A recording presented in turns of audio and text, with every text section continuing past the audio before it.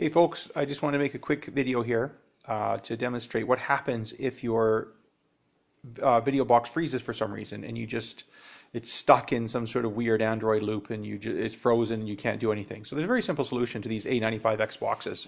Um, all you have to do is first thing you want to do is power down your machine. So unplug it. There you go.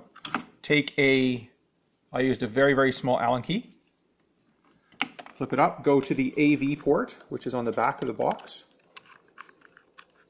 When I push in the AV port, you hear a little click. So you want to hold that, you want to hold the Allen key in. You're going to push the power cord back in at the same time. And as the, as the machine boots up, what we're going to see is going to go into reboot mode.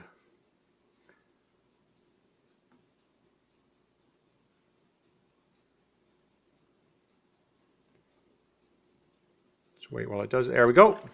So now it's gone into, because now you've essentially become the system administrator. You have a number of options you can choose from.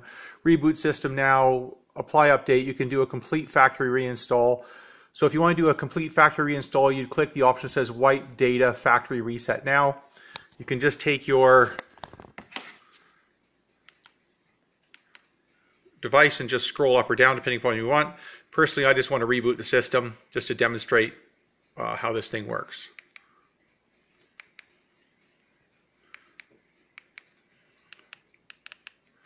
And there you go. So uh, if you found this video helpful, please like, share it, and make sure you subscribe to this channel. Thank you.